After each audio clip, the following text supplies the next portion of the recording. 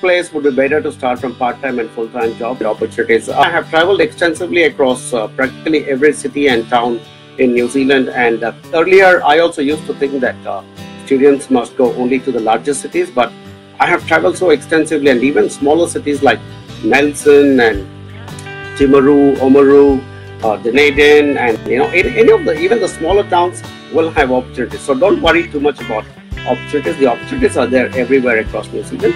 Of course, the larger cities would have more opportunities. So in descending order, it's Auckland and Christchurch and Wellington and Hamilton. These are our larger cities. But even if you are going to a smaller town like Napier, which is on the east coast, or if you're going to New Plymouth, which is on the west coast, there are opportunities everywhere. Uh, uh, contrary to popular belief, New Zealand is not very, very tiny. There are opportunities in every city. Okay.